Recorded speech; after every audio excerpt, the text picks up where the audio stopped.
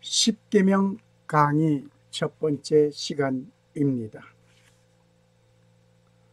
오늘 서론으로 시작해서 결론까지 모두 12번의 강의가 되겠습니다.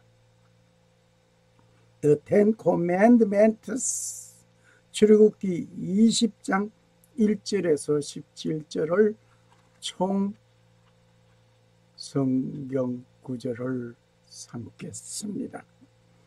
하나님은 십계명을 주셨습니다. 십계명을 왜 주셨는지, 누구에게 주셨는지 자세하게 공부하고자 합니다. 성경을 읽겠습니다.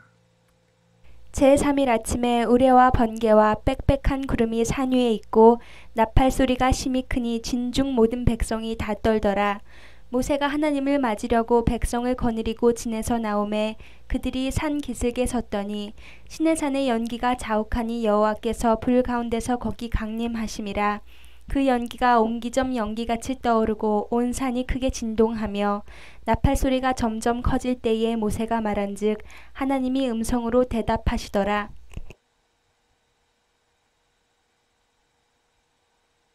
하나님이 이 모든 말씀으로 일러 가라사대 나는 너를 애굽 땅 종되었던 집에서 인도하여 낸 너의 하나님 여호와로라.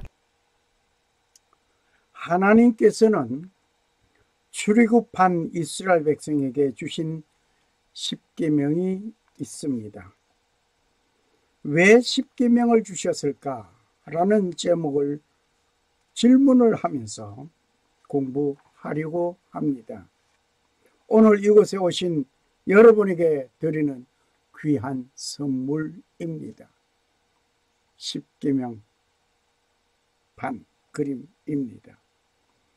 신랑 되신 예수 그리스도가 오시는 그날까지 이 말씀으로 준비하여 맞이하시기를 바랍니다.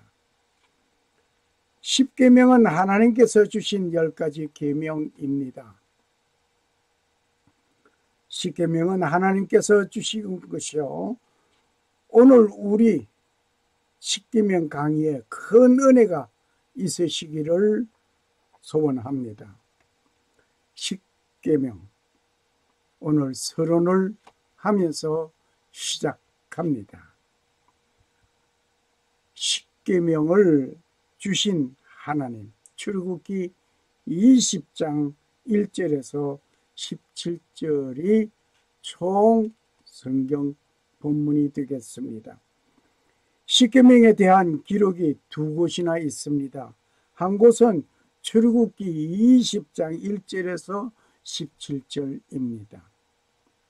그리고 또 다른 한 곳은 신명기 5장 7절에서 21절입니다.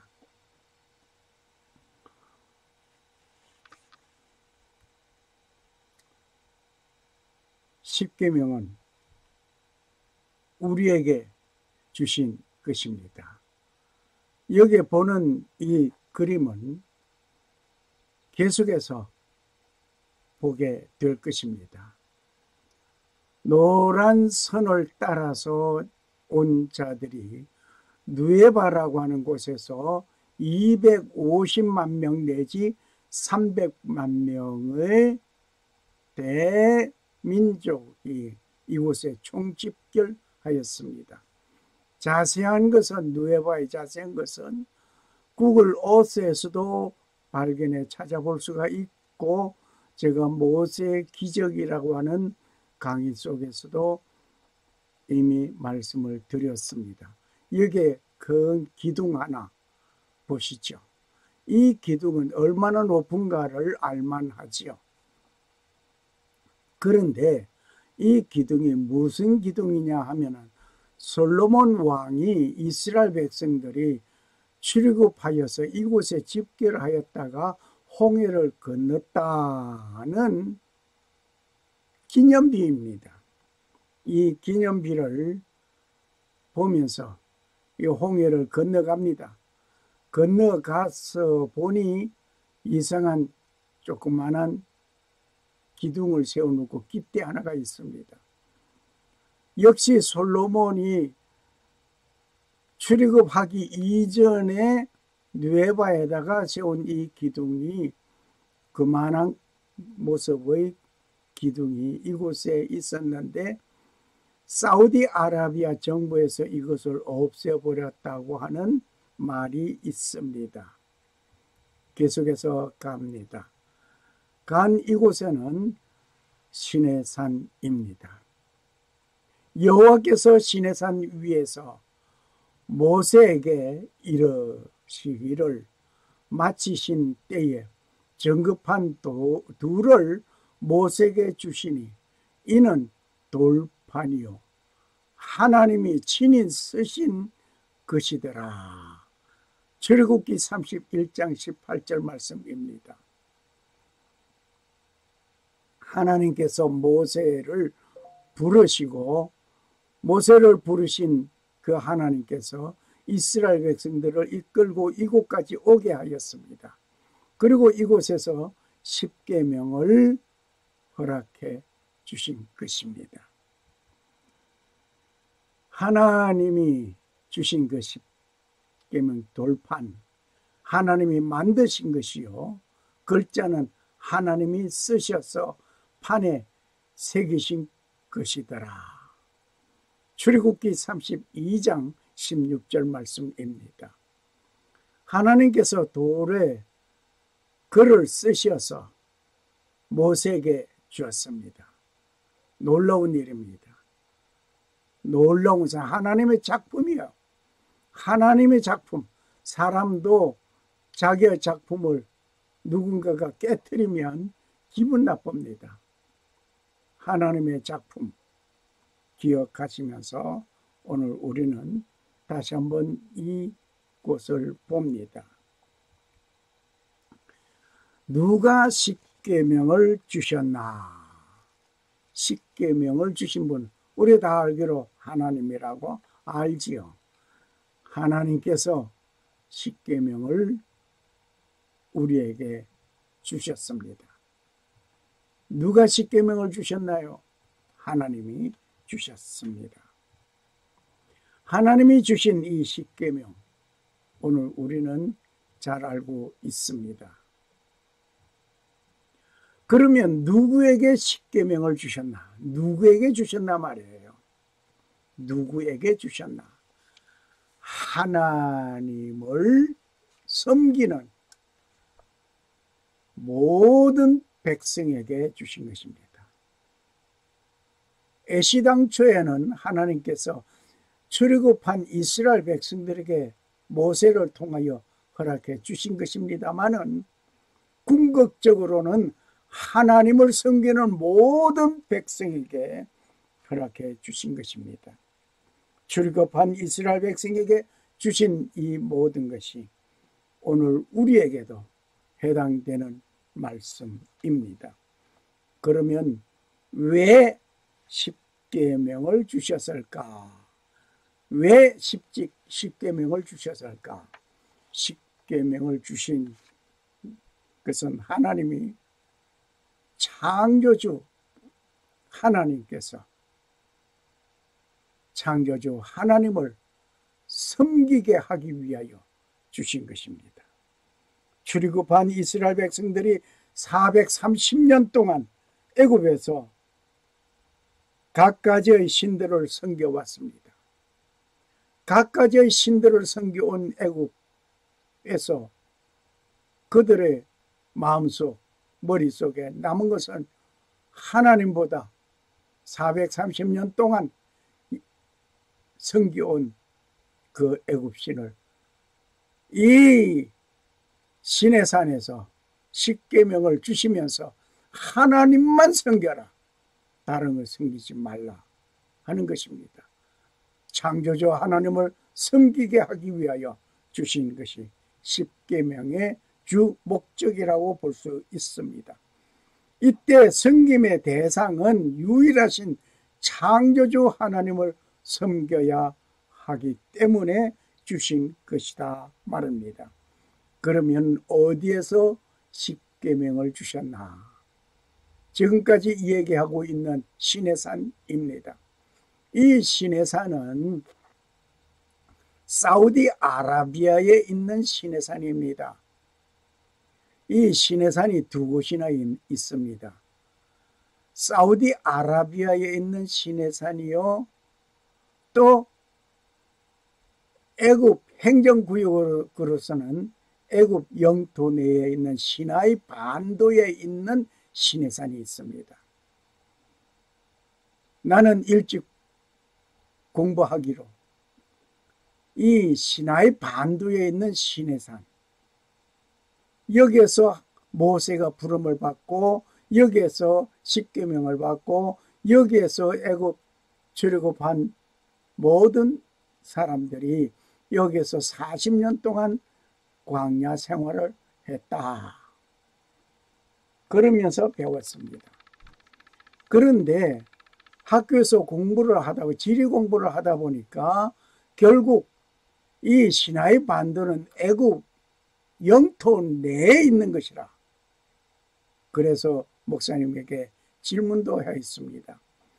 출애굽한 이스라엘 백성들이 시나이 반도에 있는 시내산에서 머물렀다고 한다면 그는 출애굽한 것이 아닙니다라고 항의도 하고 공부도 하고 그랬지만은 결국에 가서는 국은 자네 하나님의 말씀을 그대로 믿어.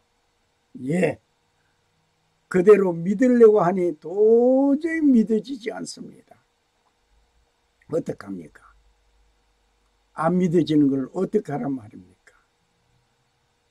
자, 그러면은 다시 공부를 하기 시작한 것이 결국 가서는 시내산이 두 곳이나 있다고 하는 것을 알고 사우디아라비아에 있는 시내산이라는 것도 알았습니다.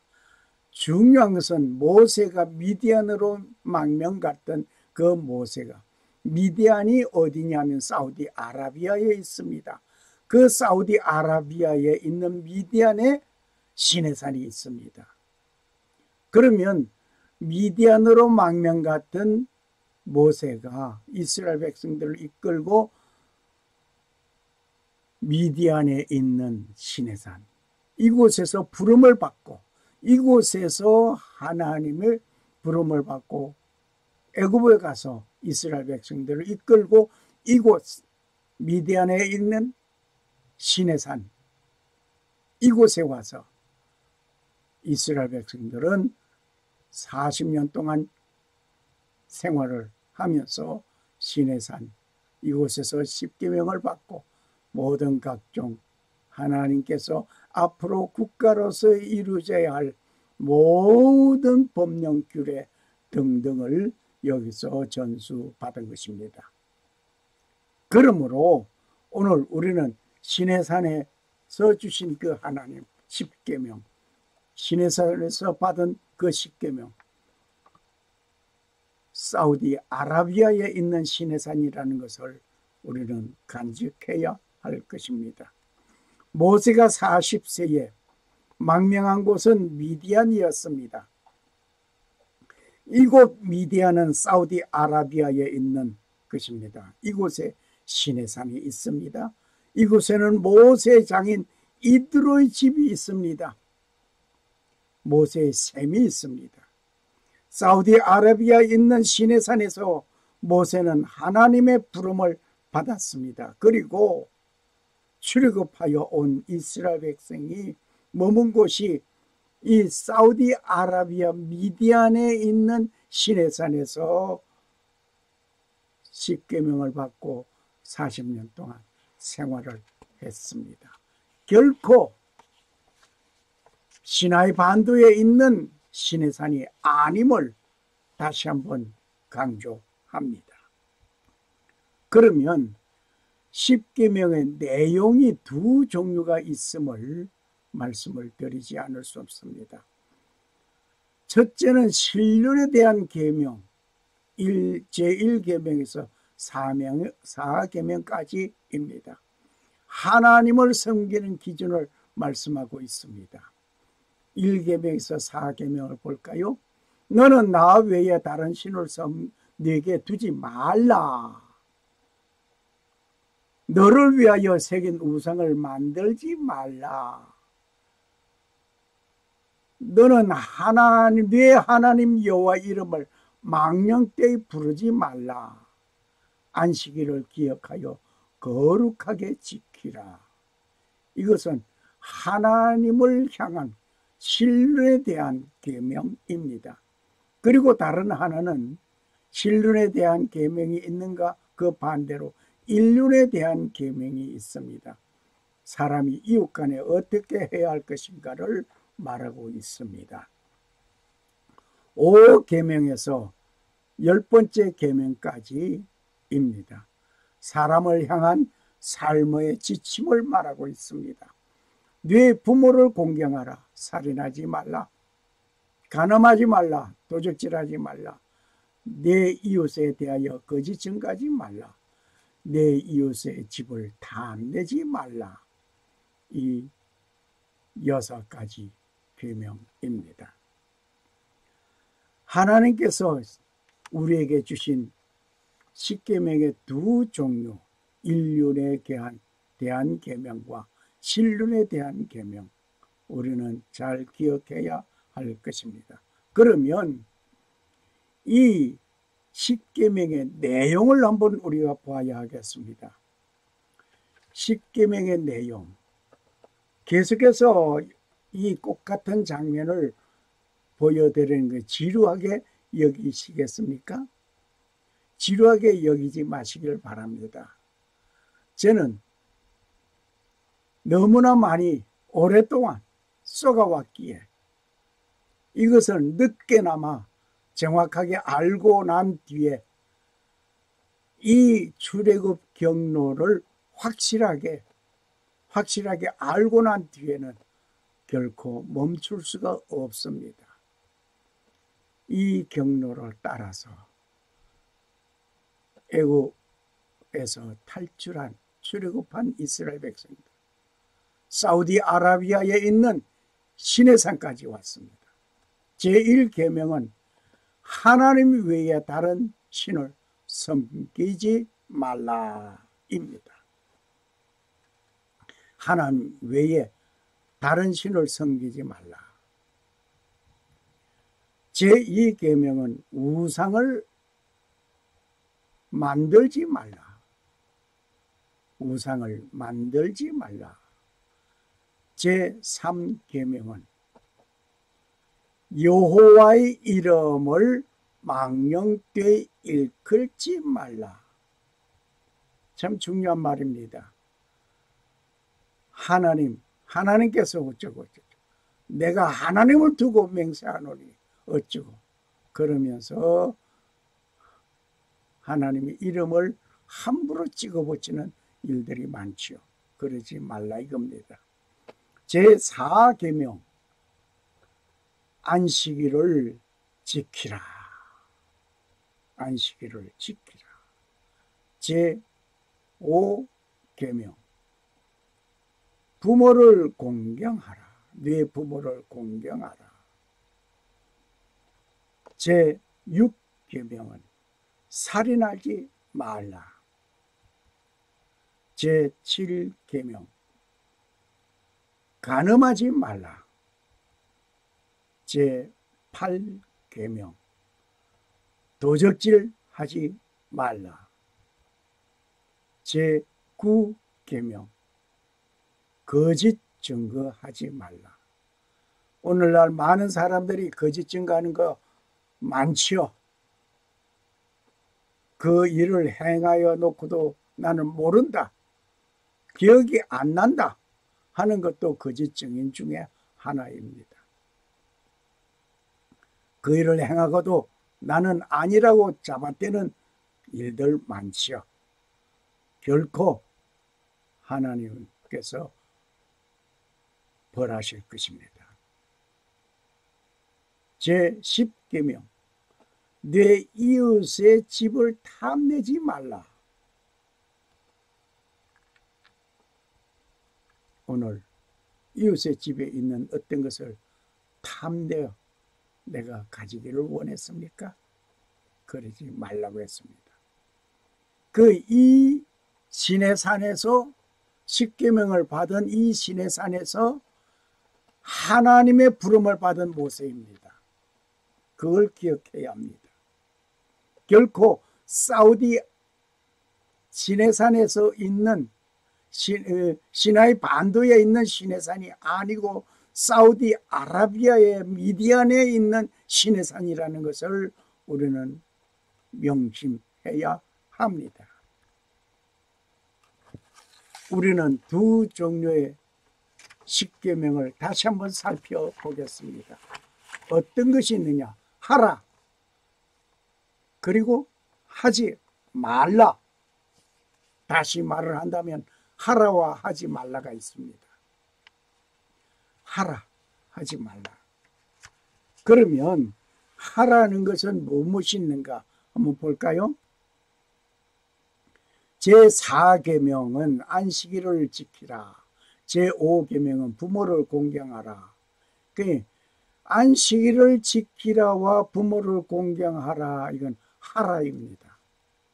뭐, 뭐, 어떻게 해라. 안식일을 지키라. 부모를 공경해라. 이렇게 하라는 것이 있는가 하면 하지 말라 있습니다. 하나님이 왜 다른 신을 섬기지 말라. 우상을 만들지 말라. 여호와 이름을 망령되 일컬지 말라. 살인하지 말라. 간음하지 말라. 도적질하지 말라.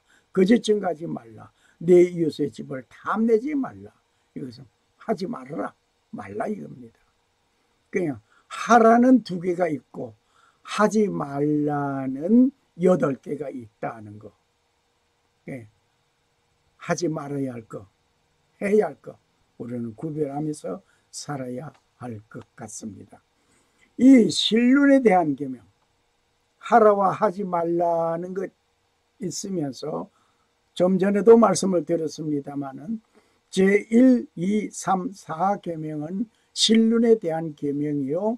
5, 6, 7, 8, 9, 10은 인륜에 대한 계명이라는 것도 우리는 기억을 해야 할 것입니다. 출애굽기와 신명기의 기록의 차이점이 있습니다. 출애굽기에는 출애굽한 제1세대를 향한 말씀입니다. 안식일을 기억하여 거룩히 지키라.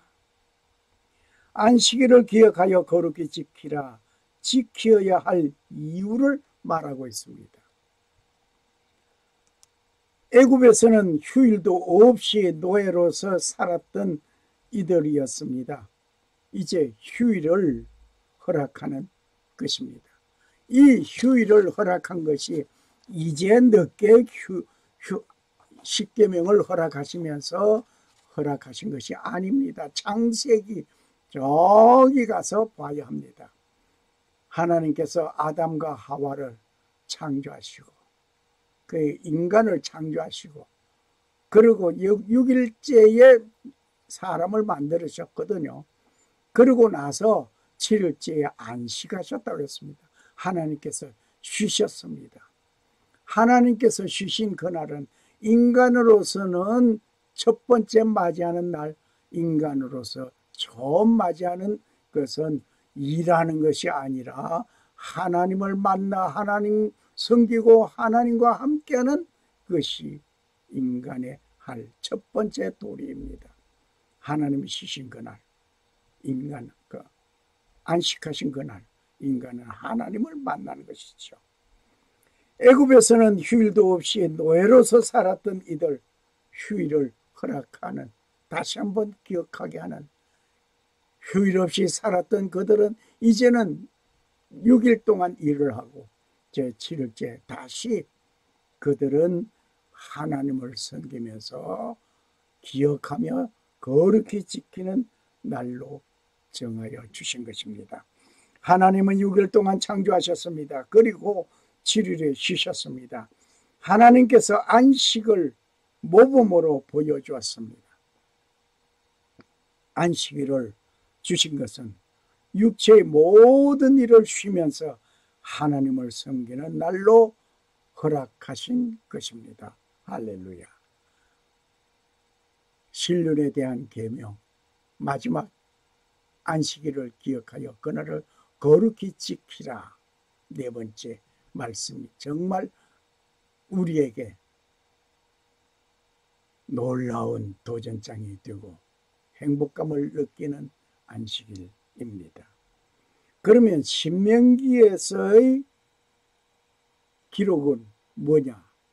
신명기에서는 출애굽한 이후 제2세들에게 주신 그러니까 40년 동안 시나이 반 어, 시내산에서 머물러면서 십계명도 받고 그렇게 하면서 40년 동안 생활하는 가운데 1세대는 죽었습니다.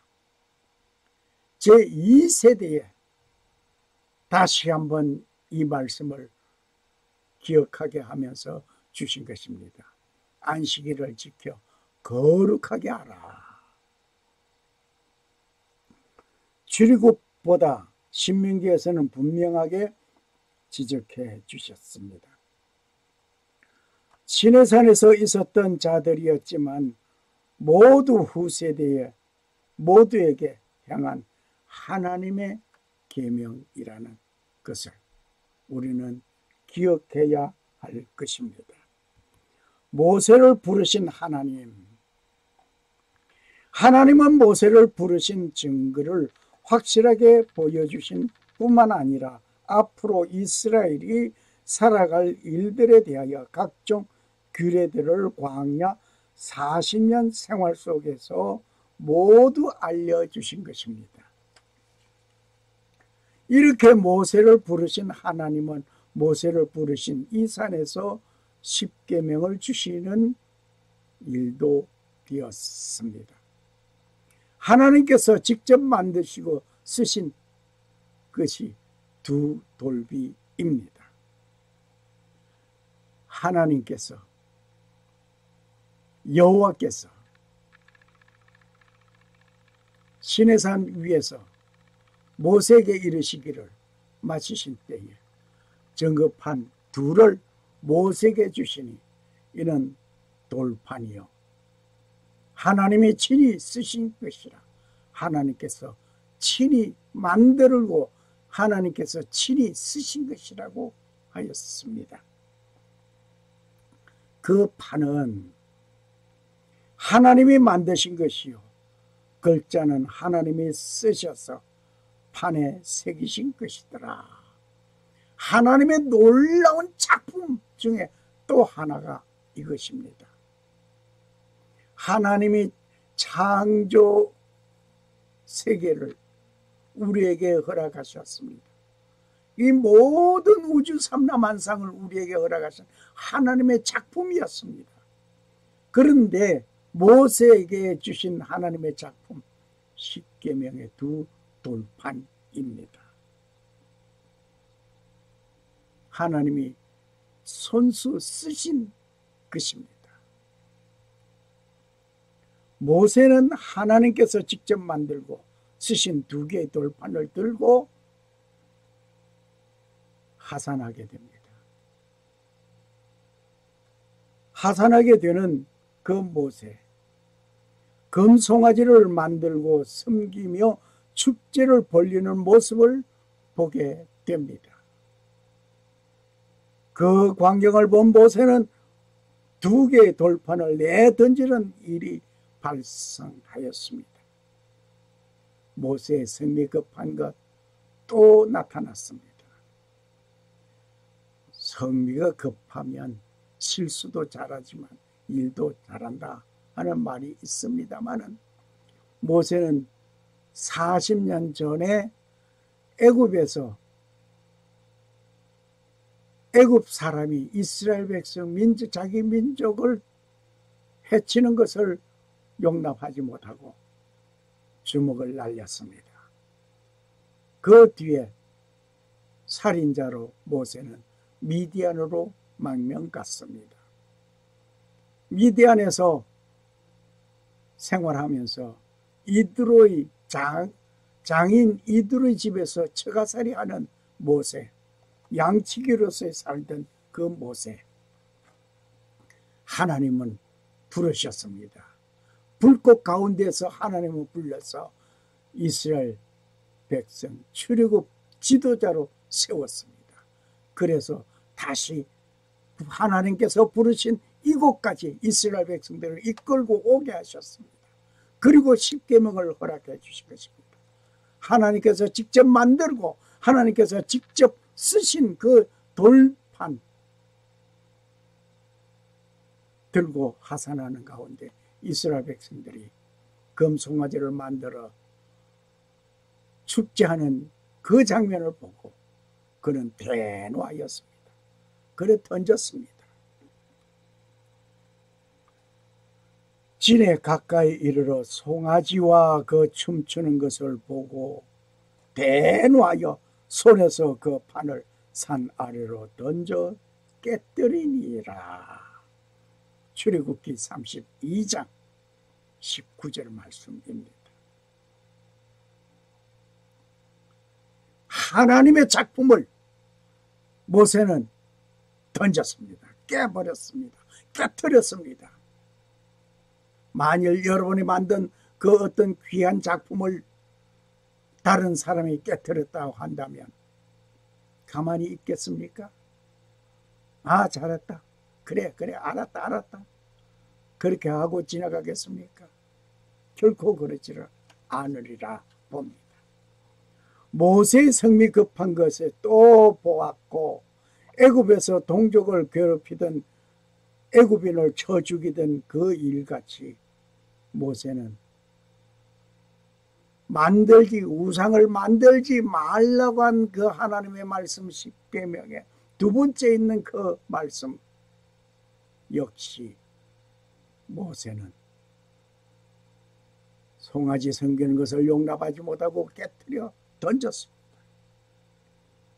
이러한 일이 있은 후에 하나님께서는 뇌가 망가뜨린 그것을 대신하여 돌로 만들어 오게 하셨습니다.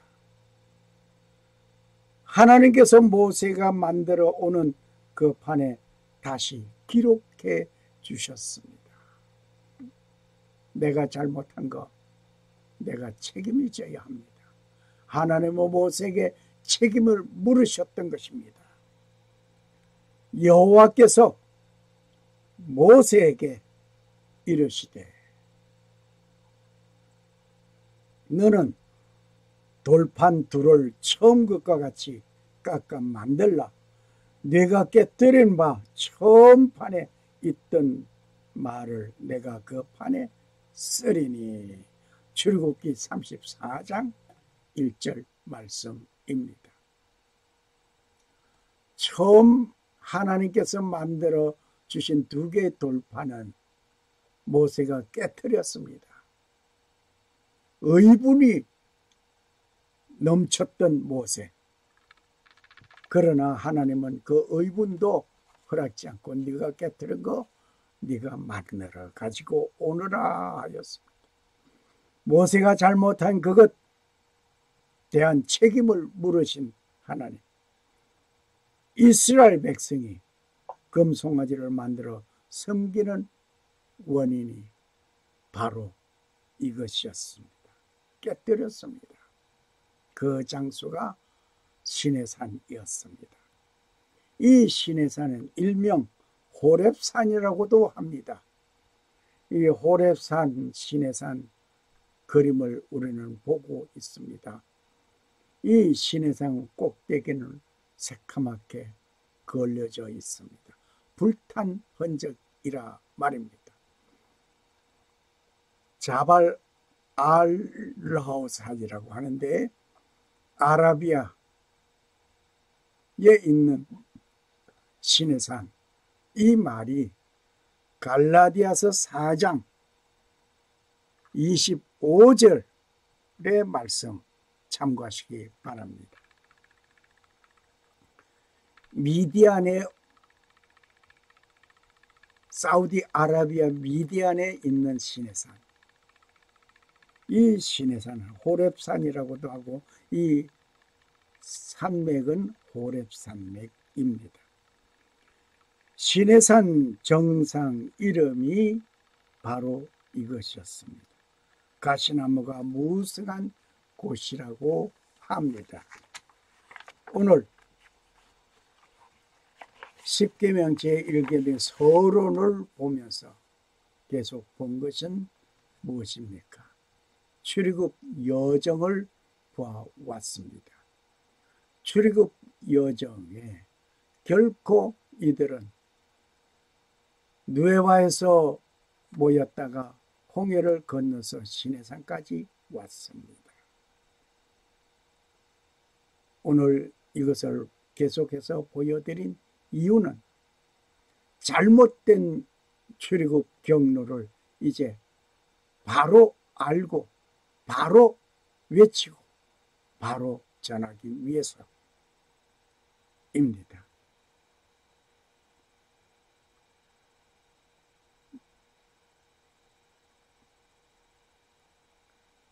이 산에서 십계명을 받았습니다.